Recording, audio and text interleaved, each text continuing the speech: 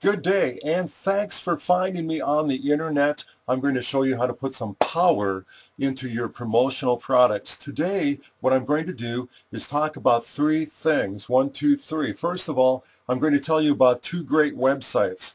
The first one, terscott.com. The second one, myimprintrep.com. The first one is specifically about marketing of all different types of things for your business or organization. The second one is about promoting your business or organization specifically with imprinted promotional products, okay? And number two, I partnered with Newton Manufacturing. I guess that has to do with number one, but I'm going to ask you to go to those sites and register for the Navigator. It's at no charge. It's a quarterly catalog of ideas at discounted prices that you can use to purchase items from me to promote your business, but I'm going to show you how to use those items to promote your business in the most proper way.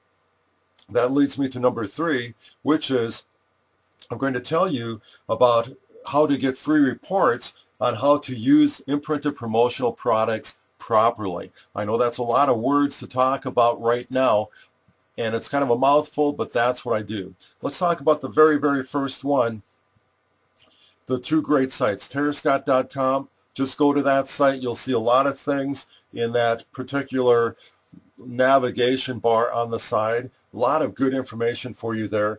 Specifically, www.myimprint.rep or not .rep, myimprintrep.com, okay? And you're going to see some information about Newton. You're going to see a lot of information about free reports and things that you can get on that site. But I do want you to register for that navigator. And you can do that by going to terscott.com forward slash navigator.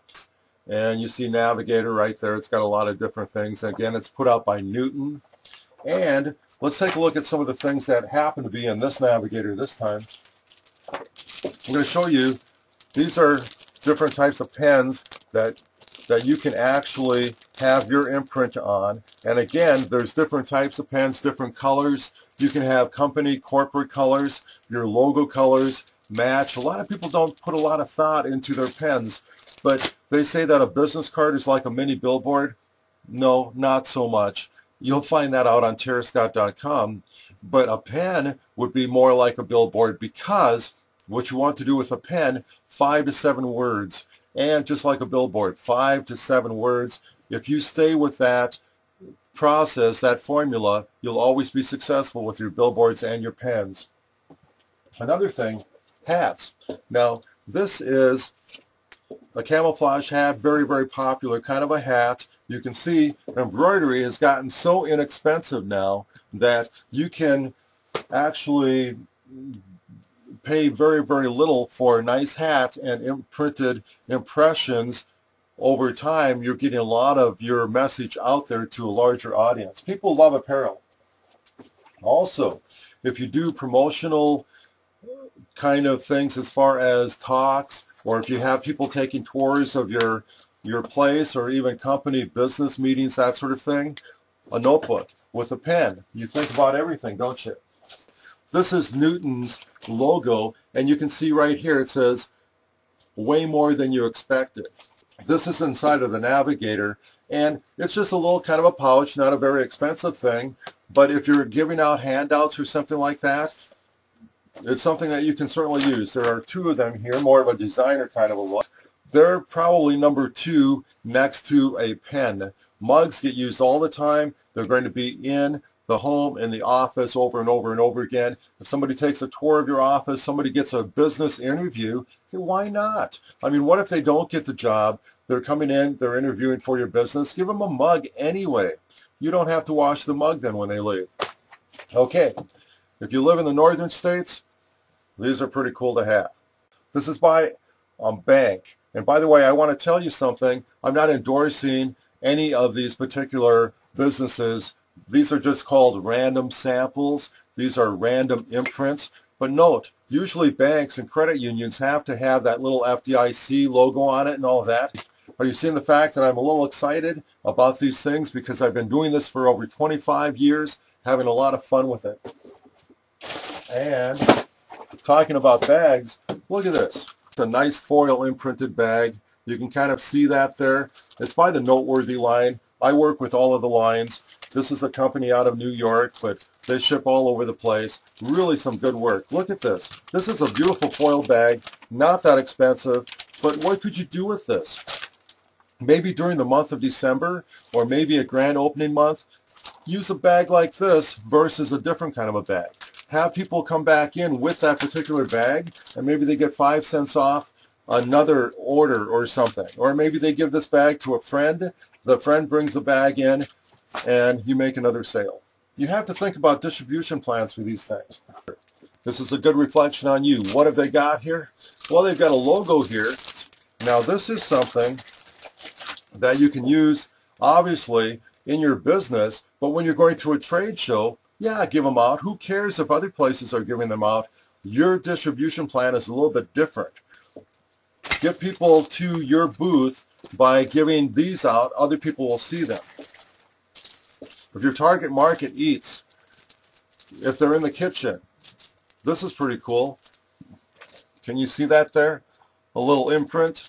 And this is a little spatula kind of a thing. Not very expensive at all, but give this out to somebody that obviously has a kitchen or whatever. The health market is very, very big today. We are baby boomers and getting younger all the time. But look at this. Here's a cool imprint. This is the hometown something or other. And they've got their, their phone number on this. I was talking about somebody the other to somebody the other day and I said, you know what? If you want people to come to your website, what do you do? You get an imprint a promotional imprinted product like this and you put your name, you put your phone number, you put your address, you put everything on there and then finally your website? No. What you do is if you want people to come to your website, what do you put on a pen?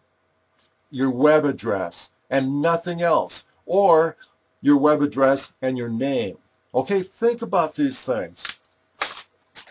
If you've got your web address and your phone number and your name, what are they going to do? They're going to call you first. Do you want to contact people via the phone or via the website?